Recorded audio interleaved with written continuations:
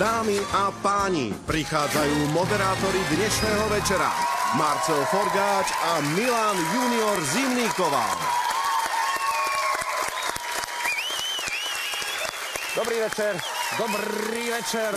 Dobrý večer, miláčkové. R, počuť, tu musíš tam, musíš tam to, že rozkošní miláčikovia naši, ako povedal náš nedávny host. Vlastne neviem, prečo si na ňo spomínam, aj tak sme museli absolvovať niekoľko sedení u psychologa po tejto návšteve. Reč je o Danovi Nekonečnom. Dnes to budú hostia trošku iného rangu, určite tiež opäť veľmi, veľmi zábavný. Ja som sa veľmi dobre cítil ako Maharadža rozkoší. Áno, to je. Prišiel som domov, manželka hovorí, kde máš turbán. Ale páčilo sa aj vám, za čo vám ďakujeme. Dokonca som si pripravil aj citát z pošty na dopisy divákov. 17.20 sobota. Pozdravujem vás všetkých v hlavnom meste našej krajiny a musím vám povedať, že ste ma nepriamo naučili piť kávu. Oho. Píše náš konzument kávy alebo kávo popíjač. Som fyzicky pracujúci, taký chlpček. Som fyzicky pracujúci človek a večer odpadávam do postele. Keď chcem vydržať pri telke dokonca pri vašej relácii, musím do seba naliať kávu. Pomáha to, som čulý. Jan Kočiš alebo Jan Kočiš, neviem, Budeme ale... mať mus, drobňovať. me- Janko, či... Ale z Trebišova ďakujeme veľmi pekne. Janko, ďakujeme veľmi pekne. Každá pozitívna odozva nás samozrejme poteší a vyzerá to tak, aspoň teda čísla hovoria celkom jasne, že vás je čoraz viac, z čoho máme naozaj nesmiernu radosť. Veríme, že aj dnešná relácia u vás zarezonuje a že sa vám bude páčiť. No to dúfame, aj tak vyberáme hosti, lebo už v zákulisí čaká jedna kosť. To znamená, že dnes ako prvá príde krásna dáma. No áno, s parádnym podvozkom. Uh, uh, viete čo, privítajte spoločne s nami herečku Eňu alias Elenu Podzámsku. Dobrý večer. Dobrý večer.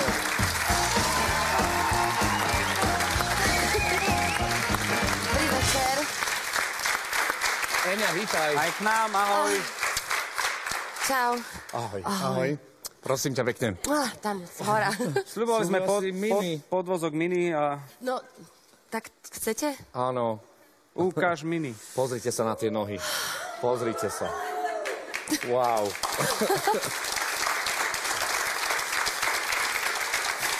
Ale toto nebol môj nápad. My vieme, že to nebol tvoj nápad, ale, ale tak ty máš legendárne nohy slovenského showbiznisu. Aj Adel. Áno, Adel aj, sa aj naša delíme. Adela. Áno, Áno, áno, áno, delíte áno. sa. Som sa, že tá speváčka Adele. Tá nie, tá mala... Tá má nohy so mnou spoločné. A Adela so mnou prstia napríklad.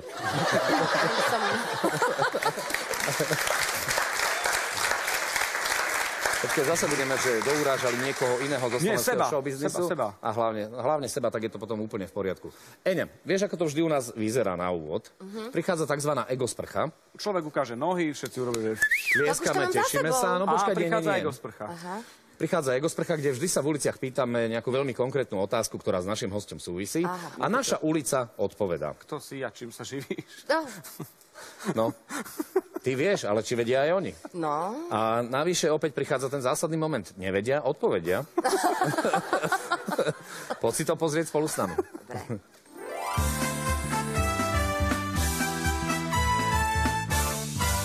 Viete, kto je a čím sa živí Elena Podzámska?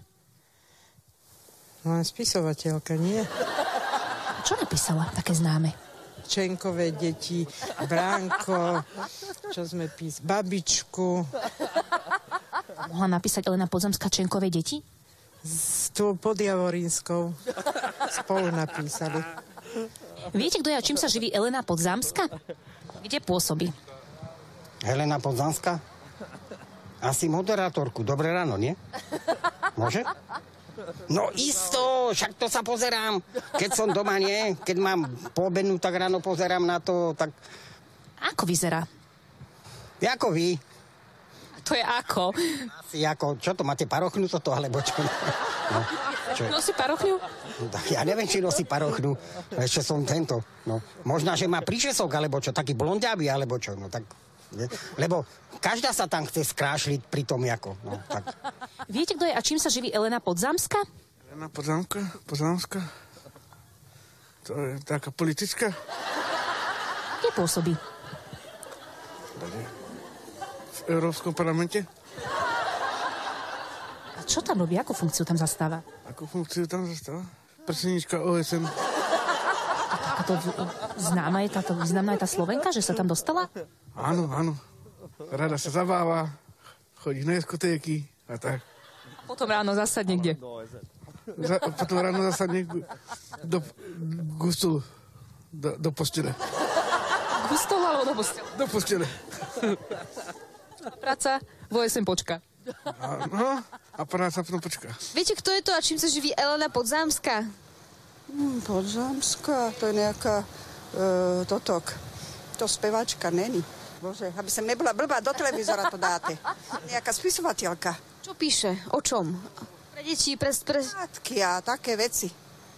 Víte, to si ešte tak trošku pamätám. Je ešte Podzámska. Podzámska? Nie, asi. Mm, Nežije. Viete ktorú, ktorú teda knižku pre deti napísala? Takú známu? Psík, mačičke, o psíkovi mačičke. To je a čím sa živí Elena Podzámska? Podzánska je ulica, nie? Viete, kto je to a čím sa živí Elena Podzámska? To je herečka? Ako vyzerá? Tá blondína. Mali by ste ju za ženu? Keby mala veľký konto.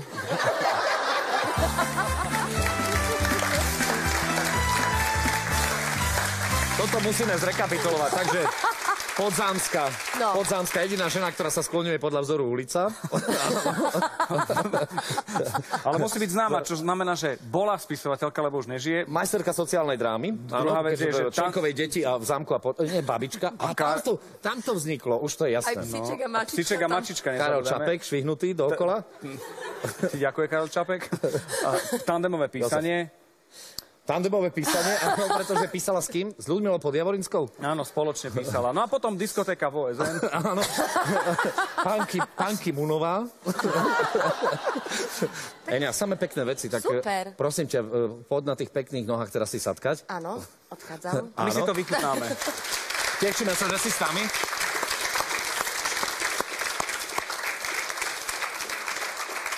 Tak Elena ako spisovateľka je zvyknutá na poriadny tandem, aj v tomto prípade to bude tandem fešácky, bude to muž, muž na úrovni. To povedzme, že spisovateľa. Možno aj spisovateľ, uvidíme, čo sa o ňom dozvieme v uliciach. My vieme a vám ho môžeme a smieme predstaviť ako populárneho slovenského herca. A je veľmi vtipný človek, pretože sme mali možnosť ho zažiť a veľmi sa tešíme, že prijal naše pozvanie opäť. Páni a dámy, Martin Mňahončák prichádza medzi nás.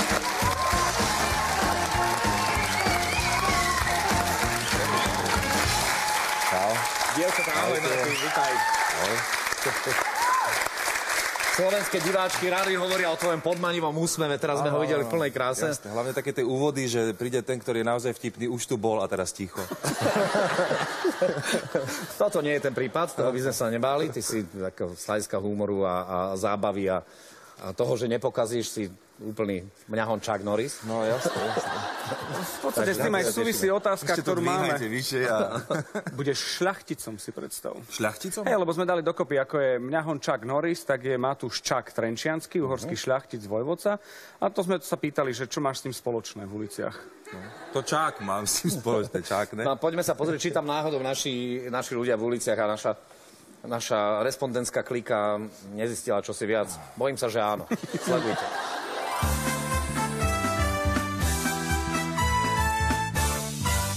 Známy uhorský šlachtic a vojvodca, známy tiež aj ako pán Váhu a Tatier, sa volal Matúš Čák. Ale ja sa pýtam, kto je to Mňahon Čák. Mňahon Čák? To je jeho syn. Známy uhorský šlachtic a vojvoda, ktorému hovorili aj pán Váhu a Tatier, sa volal Matúš Čák. Viete však, kto je Mňahončák? Pán Dunaju zase, pán Dunaja. Ten bol pán Váhu Tatier a tento zase pán Dunaja. E, Je mi to známe, ale ne. Ja vám ešte poradím. Martin Mňahončák. Je Martin Mahončák známe, to je nejaký malér, lebo čo? Maluje akty, zvieratá. Obrazy, no nejaké. No neviem vám povedať presne už jaké, no ale obrazy. Neviem, či svaté, asi nie. Svaté? Asi svaté.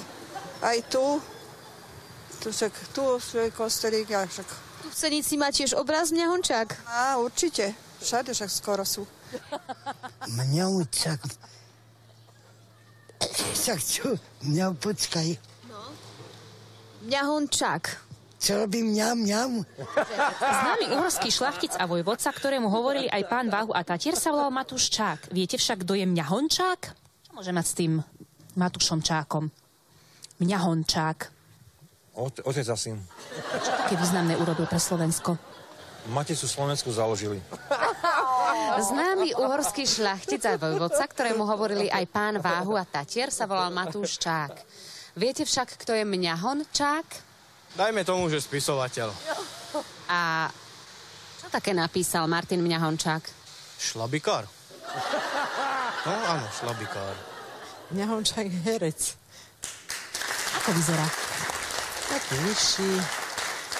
Taký... Však hrá v tom burlivom víne. A na kavu by ste s ním išli? Áno, keď zaplatí, tak poďte. Kto je to? Mňahončák. Mňahončák? Nejaký Arab? Čím je on známy, ten Mňahončák? No, chudák určite není. Prečo? Ropu má asi. Čo s ňou robí on? Prodáva, ne? Ako vyzerá ten Mňahončák? No pěkný určite není. To ste ako na to prišli. Tak keď je zahalený, tak asi sa schováva. Však ale keď má veľa peňazí, keď má ten plyn ropu, tak asi tak sa nemusí schovávať, či hej? Tak má si kúpiť nejaký dermakol, keď je škaredý.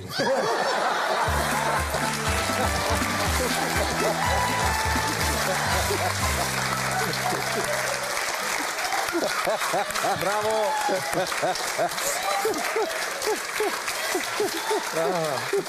Aj toto je moment, pre ktorý milujeme naše ankety. Tam absolútne, ale, ale naozaj ani trošku sa nedá predpokladať, že čo všetko by to mohlo byť. Ja to je Eh, jedno, ale Dermakol chcem kúpiť okamžite. Teraz to predávajú jak Primalex na kyble. No, no, no, beriem, beriem veľké balenia zásadne. Ale, ale že ty vieš, to, to duchovné svetlo tak ako stvárni na tých obrazoch. No, no. Páne Bože, daj, aby tam už nebol, hej. Malér. Malér. Áno, malér. Malér. Páni a dámy, prichádza malér.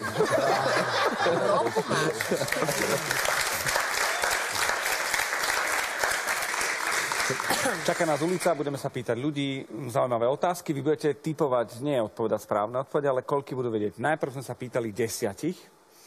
A vy si typnete, koľky odpovedali správne na zapeklistú otázku. Či Marcel pôjde k tabuli? Ja pôjdem veľmi rád. Ktoré zviera podľa legendy vychovalo Romula a Réma? Desiatich. A, a, a pýtame... Desi- a pýtame sa tí, ktorí hovoria o tebe, že si spisovateľka, Aha, že tak- nežiješ. tak jeden. odpovedajú. Jeden. Áno, áno, áno. Jeden hovorí Eňa. Jeden? Jeden. Ja dám, ja dám, že dvaja. Precenil som ich možnosti, samozrejme. Čím si vylúčil možnosť potenciálnej remízy. Dobre, takže Elena Podzámska 1, Martin Mňahončák 2. Toto sú vaše tipy, ale teraz už potrebujeme správnu odpoveď aj od našich divákov alebo diváčok. Uvidíme, čo si junior vyberie. Ktoré zviera vychovalo Romula a Réma?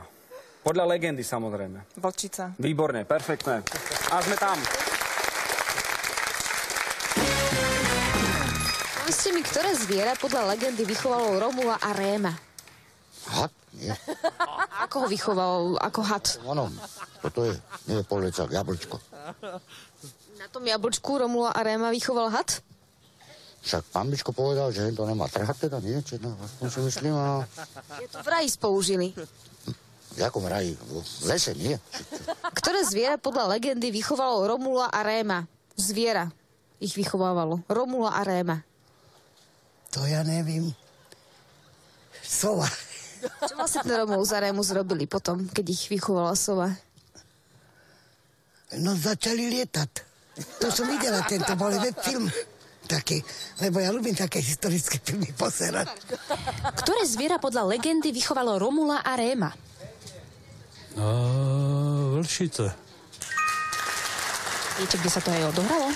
V Ríme. Povedz mi, ktoré zviera podľa legendy vychovala Romula a Réma? Ktoré zviera? To bola sa mi tá, že laň. Ako ich vychoval? Aký bol ten príbeh Romula a Réma a Láne? Róma a Réma. To boli grécky bohovia. Keď sa už o to jedná. No a tí grécky bohovia, prečo ich Láň musela vychovať? No lebo tá laň bola veľmi zázračná. Mala svoju moc.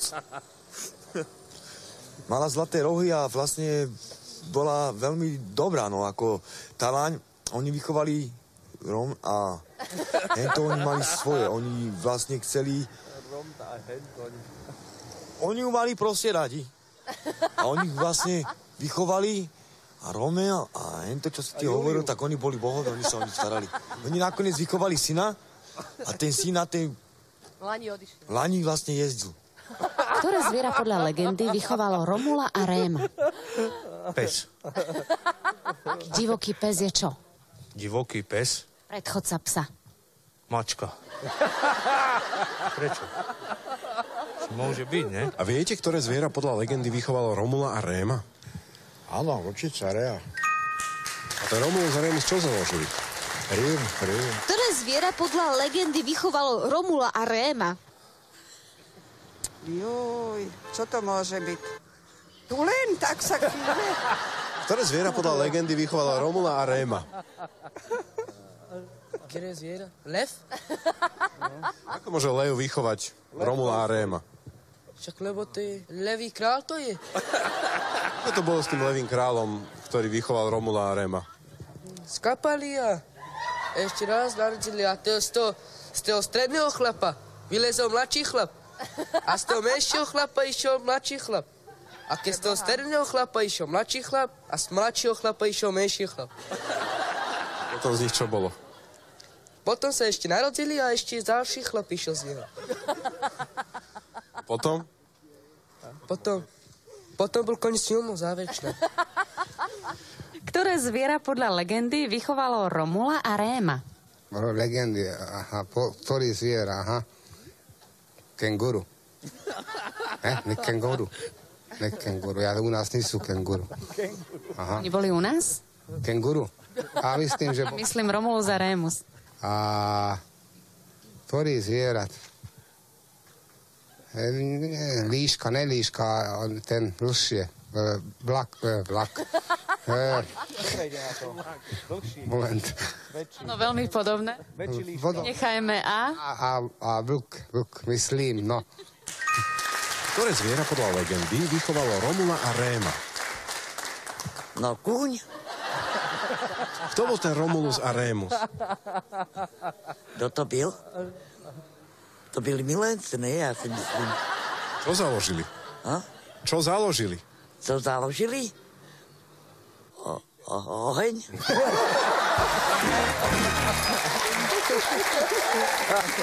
Ešte hodiny mohli založiť do záložne. Zlato, stríbro. Ahoj, Romulus. Ale aj had bol dobrý. Aj had bol výborný. No a toto už bude úloha pre vás potom, keď vyhodnotíme vlastne výsledok prvého kola. Víťazstvo Maťa Hončáka.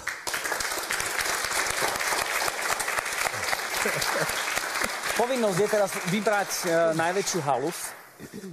Toho, čo sme mali možnosť počuť, tam bol aj rôzny rap, tam bol, Tam bol, príbeh. neviem ako ty, ale mne sa strašne páčila tá štvorka, ten, čo ten Rome a ten henten, čo ty si povedal. Čo začal s, to, s tou laňou? To bolo, to bolo... Áno, láň, láň, láň. A potom na nej jazdil ulica už nakoniec ich syn. A Na, na ich- konci jazdil syn na lani. Nejezdil na nej, no. Ten Oni ju vychovali. Rom a, Jediná a vyrazila. Hentoň. Rom a A Hentoň. Rom a Hentoň. Aha, potom Romeo. Takže toto ide do finále. Ale hej, áno, súhlasím. Štvorka do finále.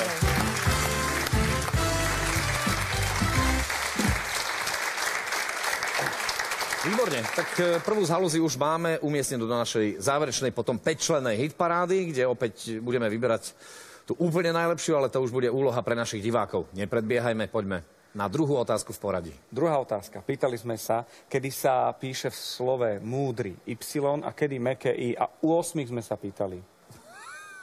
Dvaja. Mm. A tak už som, už... Pani je optimistka. Už som išiel povedať, že ani ja neviem, kedy je meké a tvrdé. Ale ty A- vieš. Jeden. Jeden? Jeden. Už to Tak ste vymenili si. teraz. Vymenili garde, aj hodnoty, ktoré sme vpísali do vašich koloniek. Ako to celé dopadne, dozvieme sa, ale ešte predtým potrebujeme od našich divákov odpoveď cestou juniora na otázku, tak kedy v slove múdry na konci píšeme Y a kedy mekej? Keď sú viacerí, tak je meké I. A keď je sám? Keď, keď je sám, tak je tvrdý. Bravo. Ešte, že sme dvaja.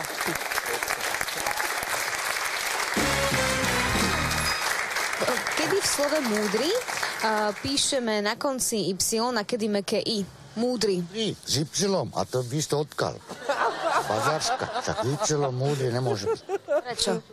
Tak múdry. Tam je meké, nie? A keď ste vy múdry, tiež je tam meké? Ja som špeciál múdry, však mám maturitu. Som sa narodil v Bratislave. A keď ste múdri, aké I si napíšete, že som múdry? не понеме, најпроше дале Боже, не можеме да ги правиме. Јама поим на ровина. Меке. Му... Речо, колишо му? Ебо подо, може би меке. Амеро. Мудри. Аро. Аро и. Мудри. Ипсилон. Ако сте нато пришли? Ма, мозек. Повести ми, каде слове мудри пишеме меке и а каде ипсилон? Слове мудри. Múdry, keď sme viacerí, je meké a múdry ako ja, múdry, tak tam je tvrdé i. Kedy v slove múdry píšeme na konci Y a kedy meké I? Múdry? No keď ráno vstaneme, to je mekkej. Večer, to je už tvrdé. Už sme vyčerpaní. To už je tvrdé. Kedy v slove múdry píšeme Y na konci a kedy meké I? To je za jedno. Prečo? Múdry, tvrdé i a vždycky. A čo si myslíš o takom, keď ti príde v sms to múdry s mekými, tak čo si o ňom pomyslíš, že čo je on? Tak nevie písať. Gramatika mu chýba trošku. Kedy v slove múdry píšeme na konci Y a kedy meké I? Múdry to je mek. To není Y, to je normálne I. Kedy použijeme Y? Nepoužijeme. Nepoužijeme. To nie. Kedy v slove múdry píšeme na konci Y a kedy meké I? Keď je, e, keď sa nachádza v mene, e, v priezvisku, alebo tak, tak je mekej a keď je to vlastnosť človeka, tak e, je to tvrdé. A vy poznáte niekoho, m, takého múdreho, kto je s mekým I? Áno, seba. Keby ste napísali slovo múdry, tak kedy by ste ho napísali s mekými a kedy s tvrdým na konci? Múdry. No, múdry, v, keď sú nominatív množného čísla by bolo s mekým a keď jednotného, tak s tvrdým. Napríklad múdry človek a múdry ľudia. Kedy v slove múdry píšeme na konci Y a kedy meké I? Ako to komu vyhovuje? Kto vie písať meké, tak vie napíš, napíše meké I a kto tak napíše si tvrdé. Kto podľa toho, kto ako pozná slovenskú abecedu. Ako. Ja by som najradšej bol, počúvaj niečo tu, ja by som bol najradšej, že aby sa všade písalo len meké I. A kto chce tvrdé, nech si napíše tvrdé. Aby sme ani ten rozdiel nemuseli riešiť, hej? Presne tak, lebo Y je Y a lebo na Y minete vyše kriedy. A na meké I len čiarku a bodku. Tak, no. Nie? Keď máme múdreho človeka, múdry človek, tak napíšeme aké I. Múdry? No najlepšie je ako napísať múdrc. Tam nemusíte písať I. Lebo to je ako tí policajti. Že tak ho zavezme, lebo tež tam museli vypísať to tvrdé I. A ten hovorí, tak ho dajme pred poštu, tam sa nepíše žiadne I.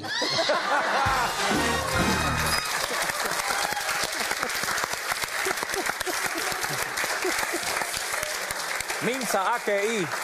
Minca, áno, napíš groš. Napíš a to bolo, groš. že policajti našli mŕtvolu pred gymnáziom, hej, a do tej správy to chceli zapísať a keďže mali s tým problém, tak Čo dali pred školou? pred poštu. Pre... Ten pá, tam vlastne bola parafráza v, tom, tej poslednej výpovedi, Áno. ale správna odpoveď, k tej sme sa nedostali, ale dve boli. To znamená, Eňa, vyrovnávaš. Wow, som prekvapená. No, vyberať budeš teraz dve halúze, teda jednu halúzu, ale mám dvoch kandidátov na tú halúzu. no Však ja. Ten prvý a posledný, tak to vyzerá. No. Ja by som dal toho prvého, ale ty si prvého? vyber, akože Toho pri- obidvaja poďme sú mi ho rýchlo toho prvého, ten... eh, Prvý? No prvý bol ten ten, nie? Uh... Ten, ten, Ktorý bol prvý? Ten, čo mal tak jednotku v rohu. Ale tak...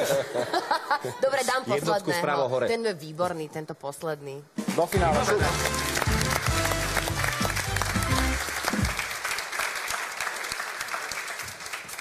Eňa sa pýtala, že na čo sú pingpongové rakety ale ta, alebo tablety, teraz úloha... Pozri sa ani takto. Tak čo vidíš? Vyzerá. Vidíš sa? Nevidíš sa. Jej. Ja tu mám zrkadielka maličké. Kto je najkrajší na svete? Uhni nevidím. A to môže byť ohrie... Opäť otázky, pýtame sa ale tento, tentokrát na vás. Áno. Budete odpovedať, či je to pravda, alebo to nie je pravda, pretože sme sa dozvedeli veľmi zaujímavé veci. Napríklad, čo je pravdy na tom, že uh, Martinovi kolegovia, herci sú citlivé duše. Nerobia si vôbec zle. Je to pravda, alebo nie je to pravda? Nerobia si zle, sú Mm. citliví. Eňa, to už sama neverí. Podľa mňa pribíjanie topánok, to už je, už je to rafinovanejšie, nie? Pribíjanie topánok? Hej, hej, hej. No, sme počuli, že niekto má papuče na scéne a, a dobrí kamaráti tými vrtikmi. Ježišmária. Alebo keď, uh, pamätám sa, keď bola, bola inscenácia Umúčenie nášho pána Ježiša Krista hneď po 90. roku, tak, tak ten Ježiš ako tam leží a už ho teda majú potom eh, kde si odniesť, tak mu tými vrtikmi divadelnými prišrubovali kostým asi na štyroch miestach. Sa stalo- že, takzvaný veľtrh. sa stalo jednému hercovi, ktorý prichádzal e, z toho z portálu na javisko a mal text jeden z prvých, mal taký dlhý plášť na sebe, že svoj plášť odhazuj v dál a kolegovia veľmi šikovní mu ho zašili. On mal byť zašitý, ale tak jemnučko, že sa dal otrhnúť. A oni mu ho prešili poriadne, že sa to nedalo, takže on vyšiel na javisko a spravil, že... Zákulisí pieje záští, no nic, budu se být v plášti. Krásne, to je. Perfektne. Čo je pravdy na tom? Ideme ďalšiu. A ja mám povedať áno. Alebo Ešte nie. nevieš. Ale nevieš, čo je pravdy na tom? Áno alebo nie? Eňa, už môžeš. Už daj, že áno. A teraz tá A teraz otázka, otázka. že Martin s manželkou vytočili uh, Daču Turzonovou. Božidar Turzonovou. Nie, no to... Nie je to pravda, nevytočili sme ju, ale ona nám, jeden, jeden z najvtipnejších, alebo jedno z najvtipnejších stretnutí pani Turzonovej, ona bola moja pedagogička na škole, týmto ju Mhm. pozdravujem. Mám ju ja, samozrejme veľmi rád. A stretli sme ju, moja manželka má totiž to firmu nedaleko ako pani Dača býva. My sme tam jeden večer išli, tam sme nechali auto, išli sme skrátka von, tam, kam ty nechodíš. A bolo asi Keď štvrt na nevieme sa 8, práve. štvrt na 8 večer, akurát čas výjsť von a teraz stretneme pani Turzonovú, ktorá kráča po chodníku a že pani Dačenka, že odkiaľ idete? A ona, že ja idem z divadla, z predstavenia, ktoré mám zajtra. No, Strašne milá. To je krásne. Čo je pravdy na tom, že Martinovi priatelia šokovali v divadle hokejistu? Uh, áno. No vidíš. Je to tak. Uh, aj keď to nebolo až tak priamo o tom, že šokovali hokejistu, ale v, uh, v divadle kedysi bolo také, že otvorila sa scéna, ktoré sa volalo Hoříci žirafy a robili tam také predstavenia, rôzne také ako keby happeningy a vtipné veci, písal to pán Drábek a sranda, sranda. A zrazu mali jedno predstavenie, kde bol uh, český, český veľmi známy ho- hokejista Jirka Dopita. Asi Áno, poznáte to Jiří meno. Dopita. Jiří Dopita. A v texte tej hry bolo, že mama je so svojím synom doma a teraz synovi hovorí Jirko Dopito. A brali to ako geniálny fór, že sedí tam Jiří Dopita, na, na javisku je veta, že Jir, Jirko Dopito, že perfektný fór, vedia všetci, že tam všetci ho poznajú, bude to vtipné. A tá pani herečka absolútne pokazila nepokaziteľný fór, lebo Jirko Dopito sa nedá pokaziť. To, fakt, to už povie ktokoľvek. Jirko Dopito poviem aj ja, bez problému. A ona, jak bola celá nervózna, lebo ten Jirka Dopita tam sedel, tak synovi, že Jirko, napise. To je krásne. v študentskom amatérskom divadle sme mali takú, takú kolegyňu, presne, že, ktorej ako nedochádzali základné súvislosti v podstate nepoužiteľná pre praktický život. A, bola tam taká replika, že, že dvaja sme sa rozprávali a, a, a te, v texte bolo, že a potom padne výstrel a vtedy ona mala vojsť a, niečo povedať, že čo vy dvaja, bla, neviem, neviem, čo, mala nejakú, nejakú repliku, nejaký text. A teraz kolega, že padne výstrel? Obidvaja tam stojíme. Výstrel? Napätie. Výstrel padne. Volali sme Pina. Pina, kde si? Čakám, kým padne výstrel.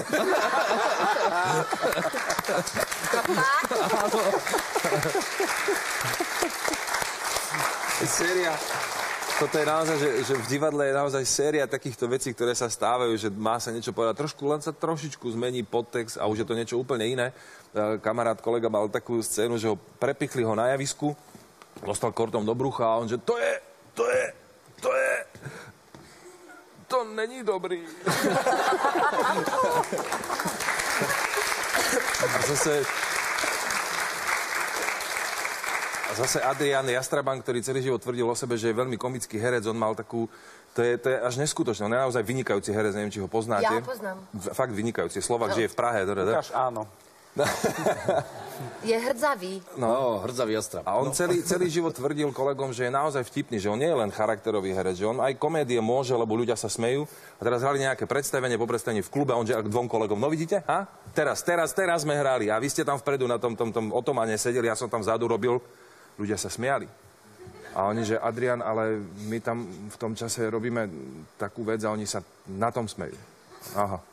Druhý deň hrali nejaké predstavenie, prišiel po predstavení do klubu a moment, ha, teraz, teraz som bol na javisku sám. Sám, mal som monolog a ľudia sa strašne smiali. No, hej, Aďo, ale to, z portálu vyšiel hasič, asi bol trošku dezorientovaný, tam tam trošku blúdil, na ňom sa smiali. Zase mu to nevyšlo, ale vyšiel mu geniálny fór.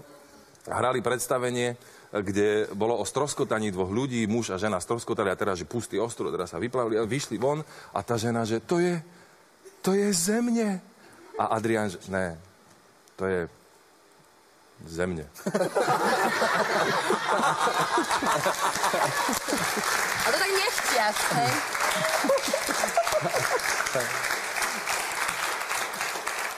Ideme opäť do ulic, budeme sa pýtať otázku, ktorá má taký, také antre. Keď Krištof Kolumbus vyplával objavovať nové krajiny, jednu konkrétnu chcel vedieť, preplával Atlantik, dostal sa na americký kontinent a on si myslel, že je niekde. Kde si myslel, že je? Kde si myslel Krištof Kolumbus, že je? Hm? Siedmých sme sa pýtali. Uh, zo siedmých to budú vedieť jeden. A môžeme Jeden. byť, re, môžeme byť remizovatí? A dávaš to na Elenu, ale nevadí. Ježišmária.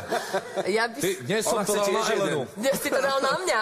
Chceš, chceš jeden tiež? Tie nohy. Ja som chcela jeden, ale že Že nesmiem. môže byť jeden aj ona? Tak vieš čo, ale Eňa, z toho môže byť sedmička ešte, trojka. A 11.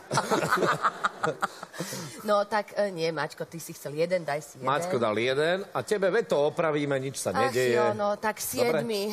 Siedmi. Siedmi, OK. No, teda, zo siedmých som chcela, nie, nie siedmi. Uh, dvaja. Dvaja, počúvaj, tak ako dáme takú pikasovskú dvojenku, Ukáž? dobre? No, po, po, po, Tá je opatrne. krásna, jak, to je labuťka. Áno. Správna odpoveď je z. Áno, keď sa... Alebo zlabuť. To je zlabuť. Pikasa sa pýta na niečo. Zla- Zase by som. Zlabuť. No už je to Ne, komár ne, teraz. ne. Žeriav. Žeriav. Pôjdeme do ulic, ideme sa pýtať, e, čo to bolo s tým Kolumbom. Pintanina Santa Maria. Jednoducho, kde si myslel Kolumbus, že vlastne pristal? Že bol v Indii. A je to správna odpoveď.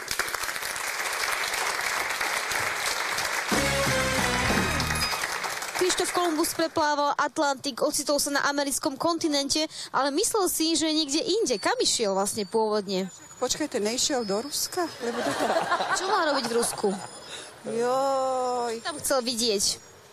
Ešte Lenin, keď žil. A s ním stretnúť? Však ho, ten Kolumbus sme sa učili, tuším, v 6. tríde. Keď Krištof Kolumbus preplával Atlantik, ocitol sa na americkom kontinente. On si však myslel, že je niekde úplne inde. Kde si myslel, že je? Že je na konci sveta. Kde si myslel? Indii. Nie? Viete, kde si myslel, že je? Krištof Kolumbus. Kam išiel? Pôvodne. No nevím, však do Ameriky, lebo da ne. Tam skončil, ale on myslel, že ide niekam inám. To nevím už. Išiel tam, kde teraz celebrity chodia hľadať pokoj. Tam by ste išli vyhľadať pokoj a rovnováhu. Do, e, do penziónu. Keď Krištof Kolumbus preplával Atlantik, ocitol sa na americkom kontinente. On si však myslel, že niekde úplne inde. Kam išiel? Pôvodne. Prišiel, čo ja viem, na nejaké občerstvenie. Kam išiel na občerstvenie? Do akej krajiny? Do nejakej krčmy.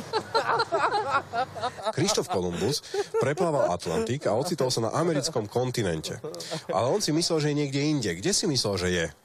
No v Indii, však sú podľa toho menujú aj Indiáni. A tak ako potom prečo on objavil Ameriku? Alebo by ste chodili sprostí, nevedie, že Amerika existuje, no.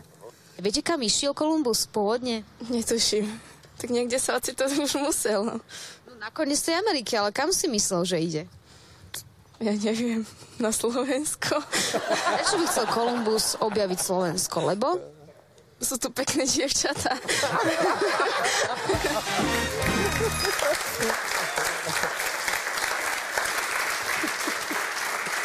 Takže Labuťo Komár Labuťo Komár ide. sa hodil No veru, priniesol šťastie. Elenke. Dobre, 2-1. Eňa vyhráva.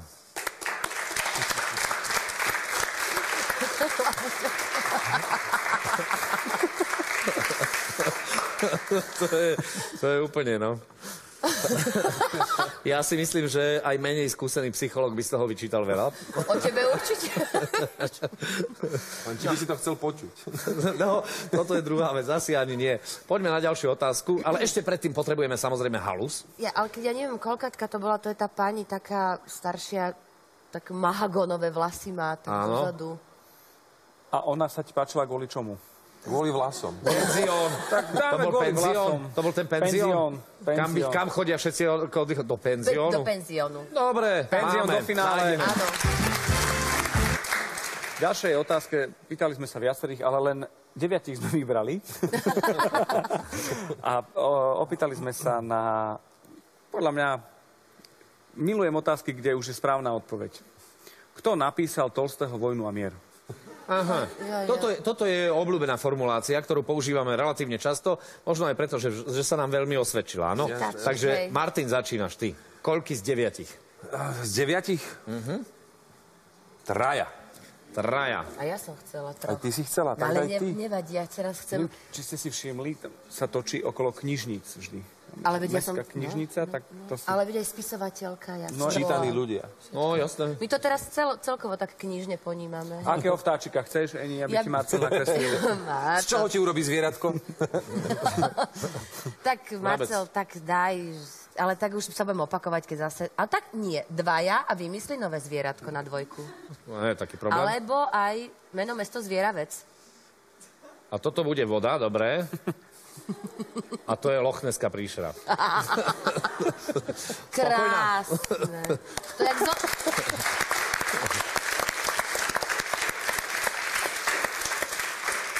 Ja viem. Tak toto je jedna presne z tých spojených formulácií, že Loch Neska príšera, pritom Loch je príšera, Nes je jazero.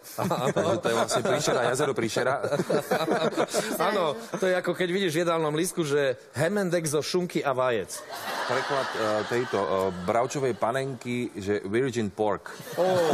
Áno, a potom do toho, vstupujú, Geniálne. do toho vstupujú aj prekladané zemiaky ako translated potatoes.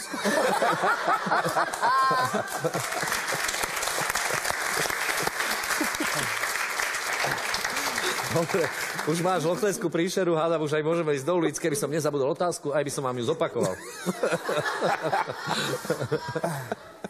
V tomto špecifickom prípade by som poprosil zopakovať najprv otázku a potom na ňu odpovedaj. Kto napísal Tolstého Vojnu a mier? Lev Nikolajevič Tolstoj. Bravo. Povedzte mi, kto je autorom Tolstého diela Vojna a mier? Nie. Mier, Ježiš, to je, to je známe, vojna, mier. Ježiš, to mi je tak známe. Jo, jak sa len volá. Sergej Jurkovič. Jurkovič? Sergej Jurkovič, Slovák, či čo to bol on? Ukrajinec. Čo Ukrajinec písal o vojne a miery, lebo? No, no však byli s nami. Op, s nami vojaci, títo Rusi boli pri nás. No, vola kedy, však starí rodiče to vola kedy rozprávali všetko o válke. keď sa péry drápalo. Viete, kto je autorom Tolstého diela Vojna a mier? Fúha. Počkajte tam, tak nie, tak to, to je Slovák, Slovák, že? Myslím, Slovák. Prečo je to Tolstého dielo? Tak Tolstej to bol, ne? Tolstej bol. Jean-Pierre Tolstej. Dielo, Tolstej. Leo Nikolajevi. Kolajevič i Ivanovič. A povedzte mi, kto je autorom Tolstého diela Vojna a mier? Tolsty. Tolstoj. A viete predtým jeho mená? Leo Nikolajevič Tolstoj. Viete, kto je autorom Tolstého diela Vojna a mier? To ste už počuli. Práve to tu som videla, vojna a mier, oni, to je veľký Rus. Ježiš, ale joj, počkaj, Tolstého dielo Vojna a mier. zabula. Gorbačov. Kto je autorom Tolstého diela Vojna a mier?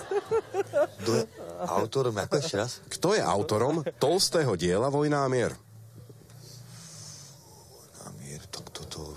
To neviem. Jules Verne, ne? Jules Verne. Jules Verne. O čom je to Vojna a mier? To neviem, neviem, možno je o niečo má. Tak je to vojne a vlastne, že chceli dosiahnuť mier na tém Slovensku alebo v tých štátoch, ne? Viete, kto je autorom Tolstého diela Vojna a mier? Vasilí, Vasilí, Aleksandrej, Tolstoj, alebo, lebo oni, oni majú tí e, e, tri mená. No. Nás to učili, keď nás poslali kedysi do Ruska, ako, tak tež nám to vysvetľovali, že musíme Alexander Aleksandrovič Tolstoj. Tak, alebo že Vasilij Vasiliejovič Vasilievič. Lebo po otcovi... A tento Tolstoj sa volal teda ako presne? Tak ten Tolstoj sa volal Tolstoj No, to... No, ako som... Alexander Tolstolovič Tolstoj. Viete, kto je autorom Tolstého diela Vojna a mier? Tolstý. Celým menom sa volal? Nikolaj... Uh, Lev Nikolajevič Tolstý, tuším, tak sa volá. Viete, kto je autorom Tolstého diela Vojna a mier? Ardelson. Ar- Ardelson. Pre Boha. A prečo sa to dielo volá Tolstého dielo Vojna a mier, keď ho napísal Andersen? Lebo je, lebo je veľké, veľký. Veľké dielo. Tosté. Tosté je to dielo. Viete, kto je autorom Tolstého diela Vojna a mier? Nie, nie, neviem. Kto by to mohol byť? Vojna a mier. Kto o tom napísal? Johann Strauss treba.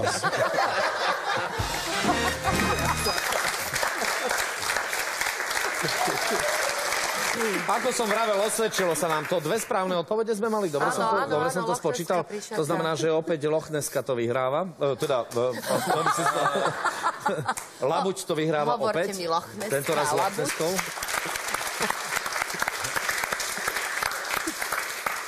No a vy si vyberte halus ešte. Bolo tam toho požehnanie? No, Bolo, no, bolo. Mne sa strašne páčila tá štvorka. Áno, súhlasím. Štvorka do súhlasím. finále. Celkom jednoznačne.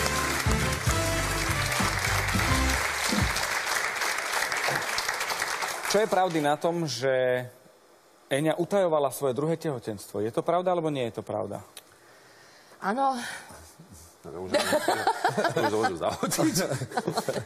ale nie, nie, nie. Eňa, to nebolo len tak.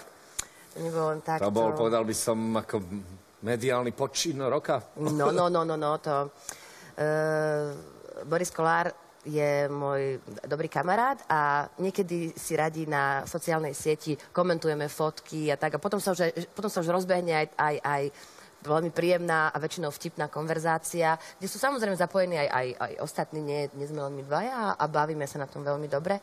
A Boro tam dal fotky, že bol niekde v, v Prahe pozerať e, pamiatky a ja som tak napísal, Borko, zase si ma nezobral. Tak už tak dlho som nebola v Prahe. A Boris sa toho chytila a začal, Eni, prosím ťa, v tvojom stave, vieš čo, počkaj do leta, keď už budeme traj, všetko, všetko, všetko bude OK. Ja naozaj, ja si nevymýšľam, ja som do desiatich minút mala SMS-ku e, z, z, z bulva... Áno. Áno. Z- Bola, že, e, Dobrý deň, pani Podzámska. Dozvedeli sme sa tú šťastnú novinu. Kedy máte termín pôrodu?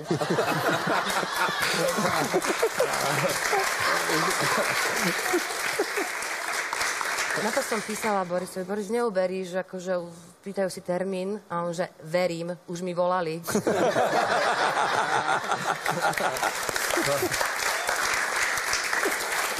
Je taká, uh, je taká jedna srbská hra, kde dcéra je tehotná už 3 roky a nemôže porodiť, lebo otec jej zakáže porodiť, teda zakazuje porodiť, kým, ne, kým nemá manžela. tak ona na to hovorí, dúfam, že porodím, kým pôjde do školy. Pekné.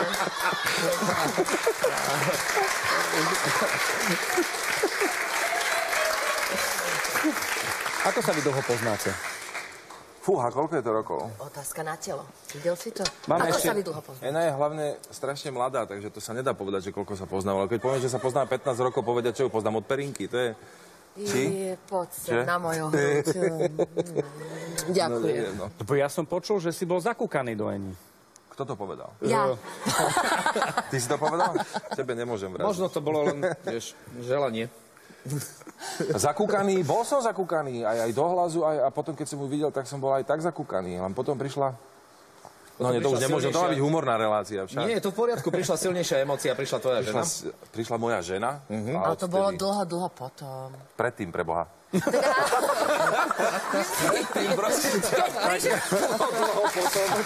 Tu je súčasnosť, tu sme. Tu je minulosť. Rozmýšľam, že na našej tabuli okrem čísel by sme ma- mali dať aj stručnú časovú os, aby vy dvaja ste si vykreslili, že kde čo, aby to bolo v poriadku. Ja som myslela, že, že dlho, dlho potom prišla Katka. Dobre, dobre. dobre, tak to je Katka, prosím ťa. Fakt, fakt pred.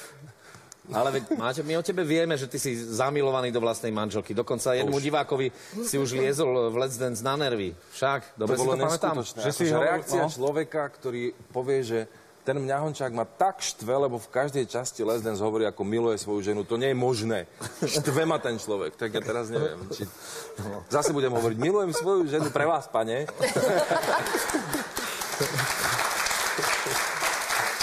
Možno... Keby si, si chcel nájsť nejakú cestu k tomu pánovi, povedz, že mil... teraz miluje aj vašu ženu.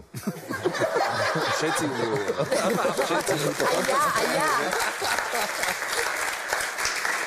Ene má tiež veľmi zaujímavý život, lebo potom, čo hrala v odsudení a mala tam takú boskávaciu scénu, lebo si hrala lesbičku, tak komunita sa pýtala, že ako je na tom Eňa. Že, že, to či by náhodou nie naozaj? A sa vyzvedali, že ako sa boskávaš? A už sme, No jasné. už, sme, už sme hovorili, že e, s akým parádnym podvozkom prišla. Predstavte si, že hrala, e, že hrala e, hrošicu, mamuticu. Mamuticu, počkaj. No. Ty si bola tá Eli? Mhm. Čo bola, To že si bola vačica. ty? To som ja. Čo si tvrdila, že si vačica? Áno, vačica, V dobe ľadovej? vačica, vačica.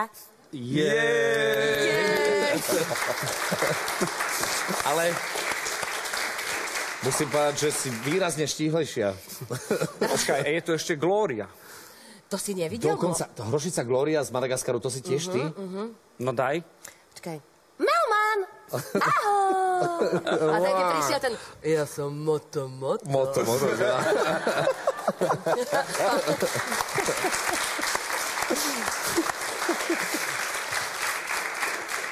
Spýtam sa to tak priamo. Zašibáva ti niekedy doma, že takto nejako, keď si to možno aj skúšaš, že takto rozprávaš a tvoja Radka pozerá na teba, že Áno, hej? áno, áno. A tak, tak pozera, že?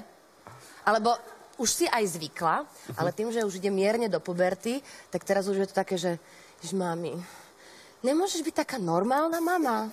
Alebo, mami, to je tak trapné. Keď bola menšia, oceňovala, keď som jej čítala rozprávky, tak ako, tak som Si to dramatizovala, Áno, áno? dramatizovala som to a všetko. Tak a teraz už, mama, normálne mi to prečítaj. Normálne mi to prečítaj. Bude režisérka.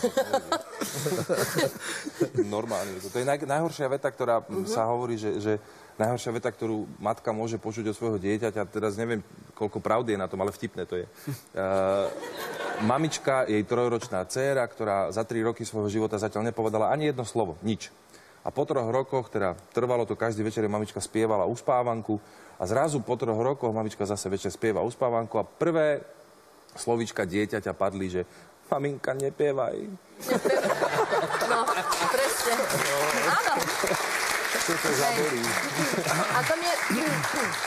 Pardon, to mne v aute moja dcéra stále hovorí. Ja si myslím o, sobe, o sebe, že viem spievať. Som... Vieš, vieš, vieš. Sme s tebou, Eňa, sme s tebou. Ako neviem spievať ako profesionálna, dobrá spevačka, ale myslím, že ako viem. Držíš tóny. Ale... Zaspievaj. Prší, prší, Nepevaj, maminko. len... No a to...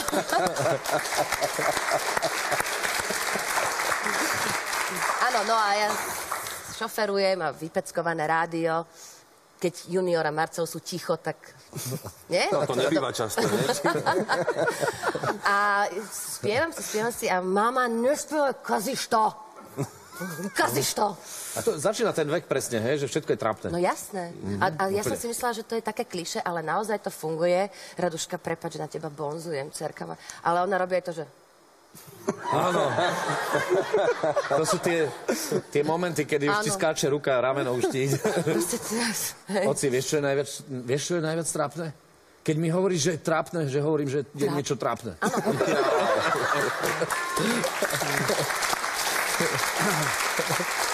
Ale Radka ťa aj zavarila, lebo vyšla správa, že vymetáš uh, Áno, áno, áno. Do... akcie a, a pýtala sa na rovinu. No, rovno sa spýtala. Počkaj, čo to bol? To bol nejaký bulvárny titulok? Bulvárny, bulvárny titulok bolo. Ja som, a paradoxne, ja som v také obdobie, že som, naozaj som, som nikam nechodievala. Proste máte v živote také obdobie, že sa vám nechce chodiť do spoločnosti. Ja nemám. Ale budeš mať. No, A, Nie po e, skončení relácie. Poprosil ma jeden môj kamarát, začínajúci reper, ktorý tu nikoho nepozná, že Eni, prosím ťa, že ja idem krstiť sedečko, e, že mohla by si mi to prísť pokrstiť. A tak, ja, že jasné, dobre. A, no, a tak sme to pokrstili a na sociálnej sieti on si vyvesil fotky, hej, že, že Eňa, díky, ako nepoznámska krstila mi, hej. Žiadne médiá tam neboli vyslovene na sociálnej sieti. A samozrejme už proste sa to stiahlo a proste bol, bol článok, že chudera Podzámska, celá jak je teraz zrútená z toho všetkého, chlapa nemá, robotu nemá, no ale vymetá večierky. A e, ja som tu teda Radke, tým, že Radka už je väčšia, vie čítať, písať všetko, takže sa je to aj, už takéto veci môžu dostať. Čo, tak v desiatich teda už málo kto? Áno. tak som, aby som dlho nerozprávala, tak som jej to, akože radi toto a toto píšu, keby ti to ako, vidíš, že to je, to je hlúposť a tak. Ona, ukáž mami, počkaj. Pozerala a hovorí, mama, a ty tam, čo tam, ty tam chodíš zametať? Lebo vymetá. Keď hovoríme, hovoríme o tých, keď sa vrátim k tým detským interpretáciám, tak e, zaujímavý postreh nám poslala jedna naša poslucháčka ako výrok e, jej syna. Pamätáte si na tie titulky z priateľov? Mhm. Pôvodné, že kto účinkuje, v slovenskom znení účinkujú. A, a jej syn sa pýtal, mami, ten Dušan Cinkota, on je brat toho alias Cinkyho? Krás. Krás.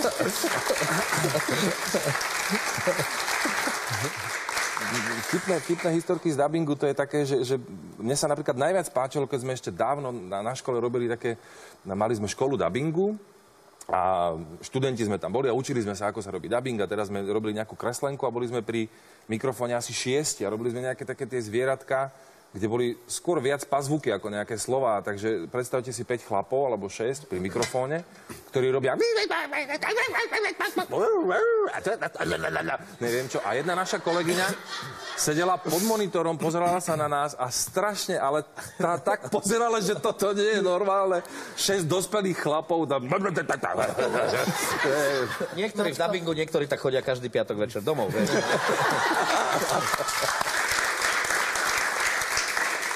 No, ja sa vyberiem v tabuli. Mhm.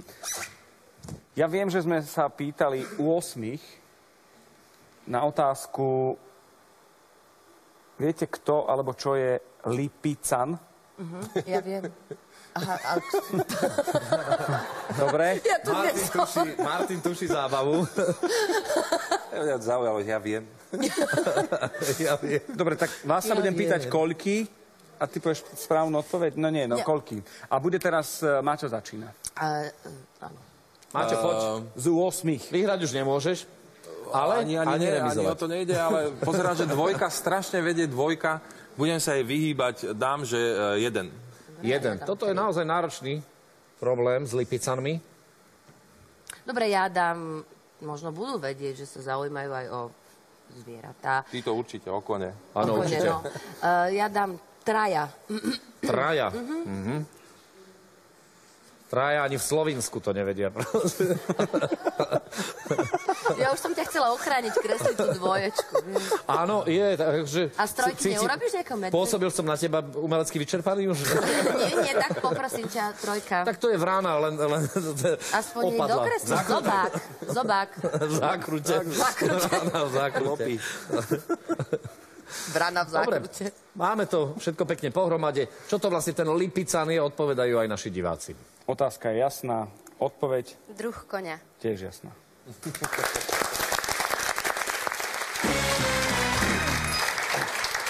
Viete, kto alebo čo je to Lipican?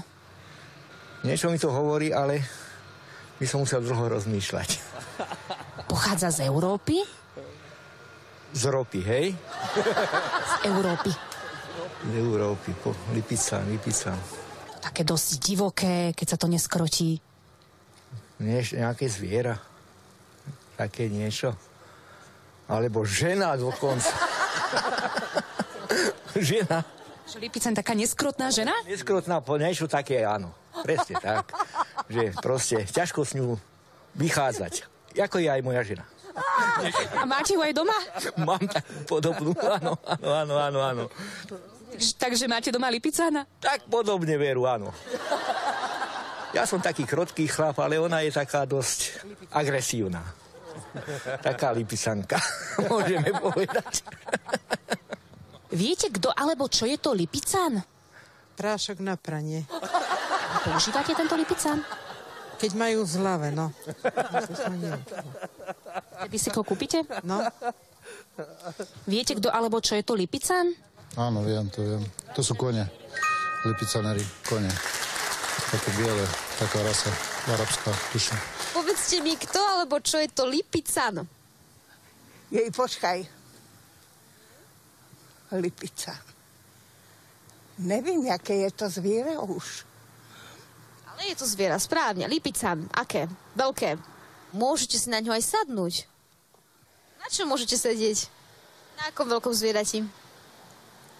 Na žirafe? Ne. Kedy jazdili na žirafe? No, určite, ja, áno. ne. Lipican je... Žiraf? Viete, kto alebo čo je to Lipican? Kvoň. No, bielý kvôň, stopočianok. Povedzte mi, kto alebo čo je to lipican?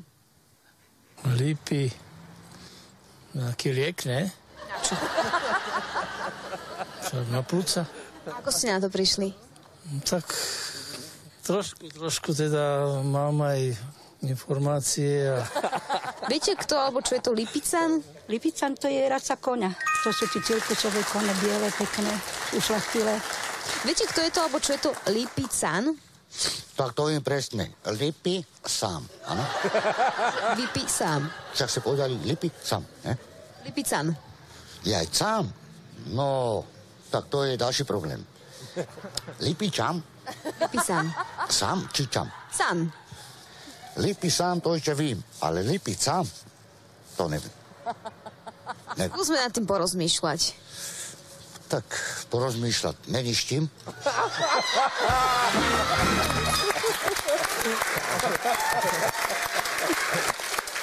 Záverečné význanie Marika Gombitová zbledla. To, to bolo význanie. To bolo významné. No, ale tri správne odpovede. Pozerám, Martin, tak tá Elenka ťa zmasakrovala dnes úplne. Bohu. To sú tie tvoje kresby. 4-1 definitívne. Perfektné. Dobre? To Môžeme počiarknúť čítať. Eňa Podzámská versus Maťo Mňahončák. 4-1.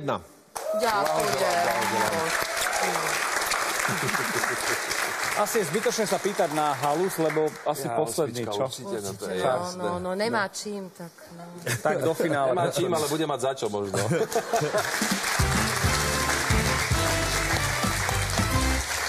No, poď si hačať, lebo ideme odmeňovať. Áno? Eňa dostane takéto tričko. Jej. Nemám žiadne vady, to sú len špeciálne efekty. Vady či vnady? Nady má. Je to v poriadku. A toto je zvuk na každú príležitosť pre Martina. Odovzdaj Martinovi, Martin si vyskúša. A ide sa Aby pohrať. nemusel, ako sa hovorí, aby si nemusel drať hubu. Počkaj, počkaj.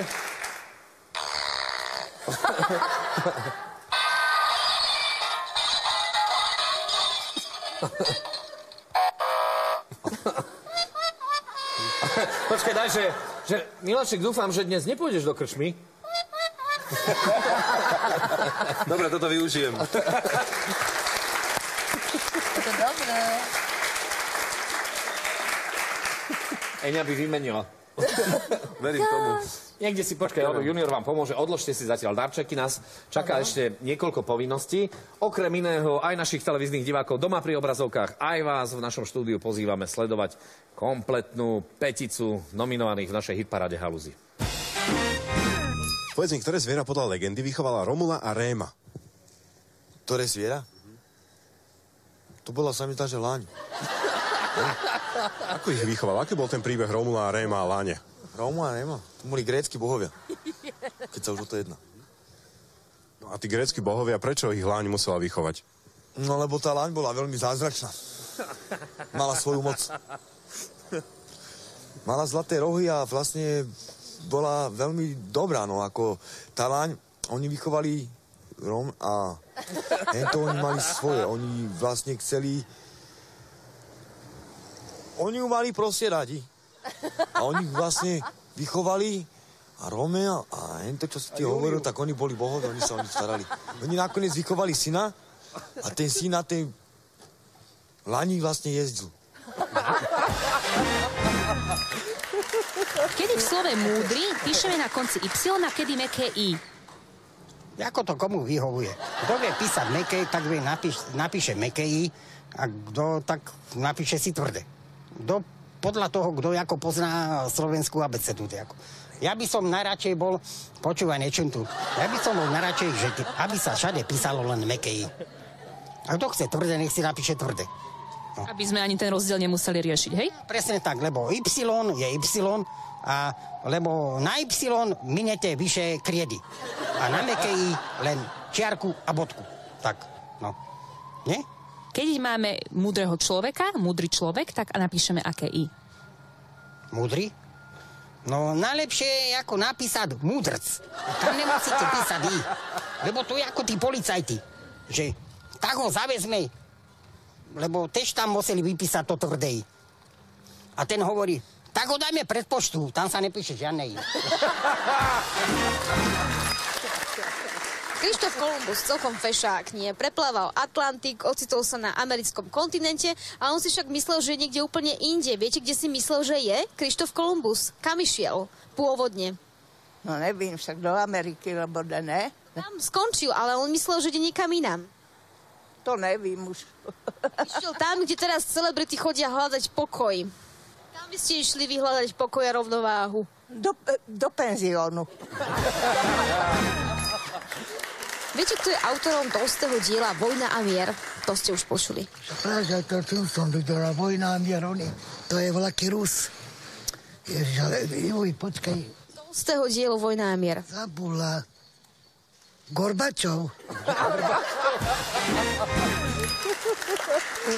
Viete, kto je to, alebo čo je to Lipican? Tak to viem presne. Lipy sám, áno?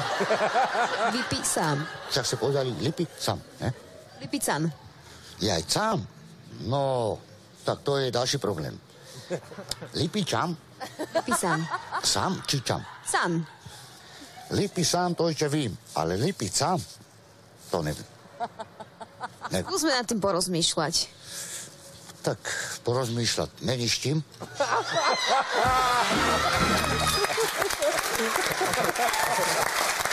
Není Opäť silná Petorka, mimoriadne silná, veľmi vydarená. Čo bude ale naozaj najlepšou dokrútkou spomedzi týchto našich ukážok, o tom už rozhodnú naši diváci a diváčky. Ja by som dala dvojku. Dvoječka. Číslo Zatiaľ. 5. Číslo 5. Dvojka, peťka, ja si to takto obídem. Trojka. Trojka, komplikujeme život. 5. 5, dvakrát zatiaľ. 5. 5 a máme to pod strechou. Nie, alebo niečím rozmýšľať. Je otázka možno aj na nášho diváka, ktorý sa stal v podstate víťazom a majiteľom 111 eur. Od našej relácie nikto nie je dokonalý. Pravda za podmienky, že milí pane, teraz trošku porozmýšľate naozaj a dokážete sa nám, dokážete sa nám ozvať na kontakt, ktorý aktuálne vidíte na svojej televíznej obrazovke. Blahoželáme, držíme palce.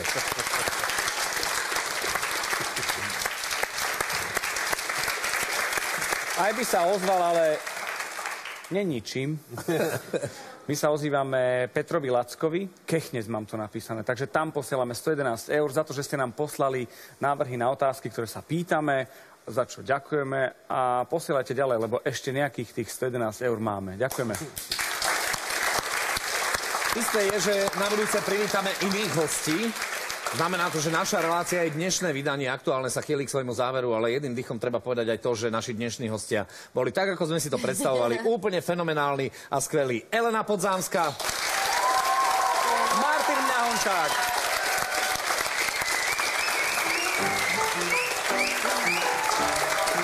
Ďakujeme za návštevu. Martin, ďakujeme. A vám ďakujeme za priazeň. Dúfame, že sa nám darí udržať si u vás, u našich divákov a že vám to vydrží minimálne do ďalšieho vydania relácie. Nikto nie je dokonalý. Ste skvelí, milujeme vás. Dovidenia.